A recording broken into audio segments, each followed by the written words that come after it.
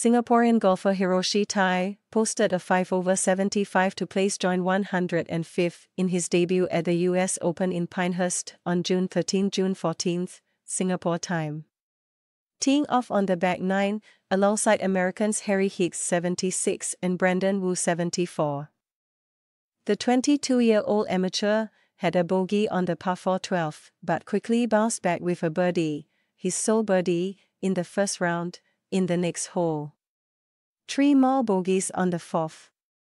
Six and seven holes in the front nine put him in joint 65th at this point, but a double bogey, on the par 3 ninth, saw him signing for a 75 in joint 105th. After an eventful first day, at Pinehurst No. 2. He is among a group of 15 golfers that includes 2012 US Open champions Webb Simpson and LIV Golf Bangkok winner Eugenio Chacarra. Two-time PGA Championship winner Justin Thomas 77 and six-time major winner Phil Mickelson 79 are further back at joint 132nd and joint 146 respectively. The top 60 players and ties among the 156 strong field will make the cut after 36 holes at the US Open. Northern Irishman Rory McIlroy and American Patrick Cantlay are in the lead after the first round with a 5 under par 65. With Sweden's Ludvig Aberg 66, France's Matthieu Pavon and Bryson DeChambeau, both 67, in hot pursuit in golf's third major of 2024.